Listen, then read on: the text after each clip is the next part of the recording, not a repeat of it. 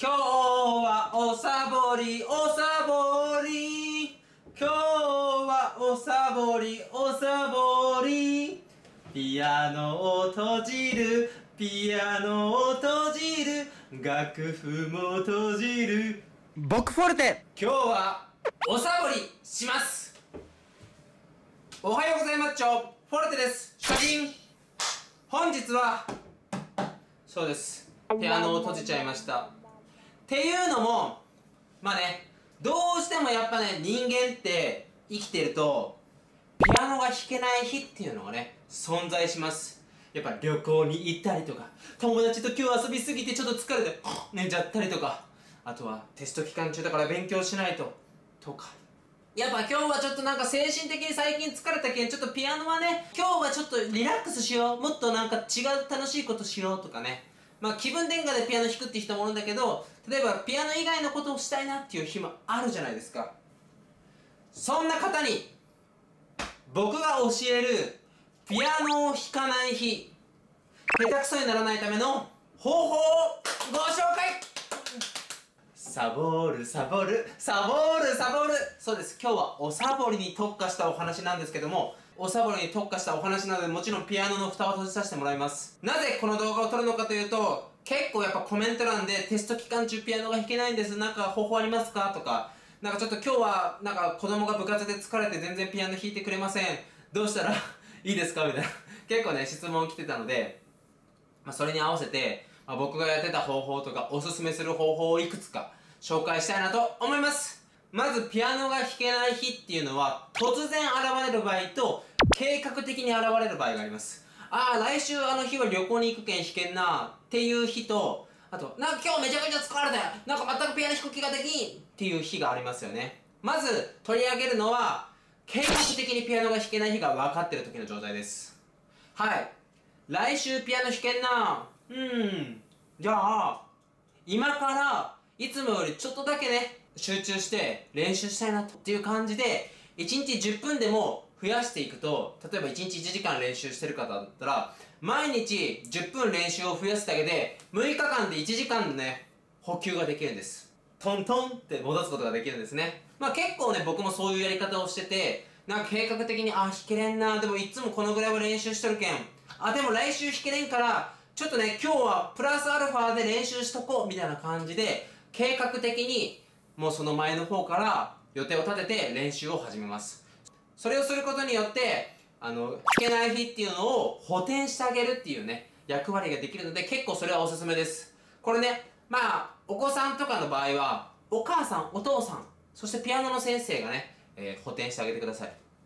やっぱね、えー、お子ちゃままあ僕も含めたお子ちゃまっていうのは僕含めるんだっていうね。どうしてもね自分だけでは計画立てにくいのでまああの親御さんとかがちょっとねしっかり予定とか立ててあげるとまあ子供が下手くそにならないっていうね近道になりますのでぜひやってみてください。では計画的ではなくて今日遊びたいとか今日めちゃくちゃ疲れて全くピアノ弾けない日っていうね、えー、ご紹介します。まず一つの方法としてはもう完全に諦めてしまう。リフレッシュをするためにしっかりもう休むって決めて全くピアノとは無縁の時間を過ごしてみるのは意外とおすすめです。っていうのもなんかね逆にすごいね休んでしまうとすごいね気持ちがリフレッシュして明日から頑張るぞってなってまあサボる人もいるんだけどそのまま頑張れる人もいるからしっかりと休んであげるっていうのは、ね、やっぱ人間大事です。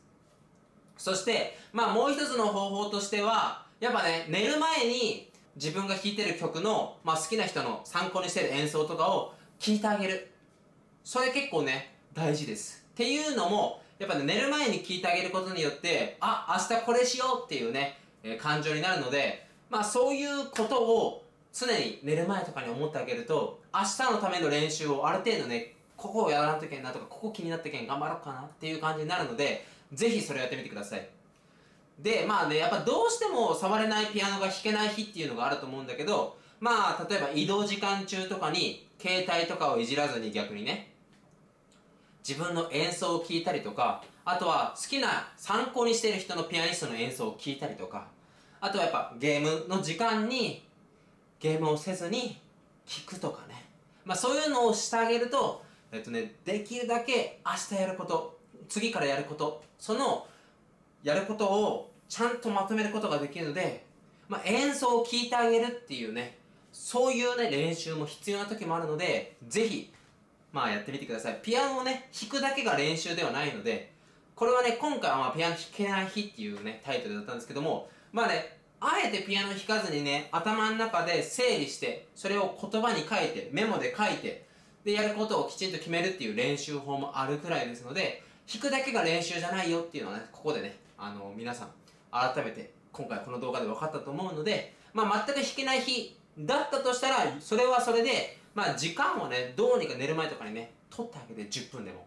そういうことをしてあげて、えー、少しでも、まあ、ピアノ明日から明後日から次からやることをまとめてあげるのがすごい重要なので、まあ、ぜひやってみてください。で、まあ、僕が最もおすすめするのは自分の録音を聞くことなんだけどその録音の中でも人前で弾いた演奏の録音を振り返るみたいなことをしてもらえたらすごくね上達に近づくと思います。自分の普段の練習っていうのはまあ録音して聞く方もいると思うんですけどもやっぱねそれっていうのはお家でできるベストな状態なのでお家でできる時ってね変に力も入ってないんです。だけどやっぱね人前で演奏する時っていうのはちょっと緊張しちゃうからここでね自分の苦手な部分がすごいねあらわになってしまう可能性があるんです。まあそれを自分の人前で弾いた緊張した演奏を聴くことによってあ僕って本当にここが苦手なんだねって改めて分かることにもなるから、まあ、せっかく聴くんだったら人前でやった演奏があればそれを聞いてみてもらえればすごいね。全然下手にはなれない。むしろより上手になるので、まあ、ぜひそういうやり方をして頑張ってみてください、まあ、全く弾けない日はもうすっきりリフレッシュしましょう。もうとことん遊んでリフレッシュしましょう。それが毎日続いたらダメだけどね。でもねそういう感じで全くピアノ弾かなくても下手にはならないんですよっていうね、まあ、きちんと、えっとね、伝えてあげた方が絶対いいと思うので今回この動画にしました。もちろんね、まあ、毎日弾かないと下手くそになるっていう人もいるんだけどやっぱねいろんなピアニストを聞いてみるとやっぱ結構弾けない日っていうのが絶対現れるからその時はやっぱ結構ねちゃんとね言葉に書く文章で書く、まあ、メモとかで書くっていうことをしてるってことなのでぜひ参考にしてもらえたらなと思います。時々ね、まあ、ちっちゃいお子さんとかでも練習がいやいやいやいやいやいやいやいやっていう子いるですよね。そ れはねあのもうなんで嫌なのかをねきちんと聞いてあげるといいと思います。もしかしたらねただ単にねピアノを弾くのは好きだけど練習するのがいやいやいやいやっていうかもしれないのでまあちょっとねモチベーションを上げるためにも曲を変えたりとか、まあ、先生と相談して、えー、日々ピアノにね楽しく向かってもらえたらなと思いますで時には、まあ、ピアノと離れることをしても全然いいと思います。っていうのも僕小学校56年生の時には、まあ、ソフトボール野球めちゃくちゃね大好きで毎日のようにしてました。家から帰ってからは友達と野球をし土日はソフトボールの、練習に行きっていうね全くピアノから離れてました。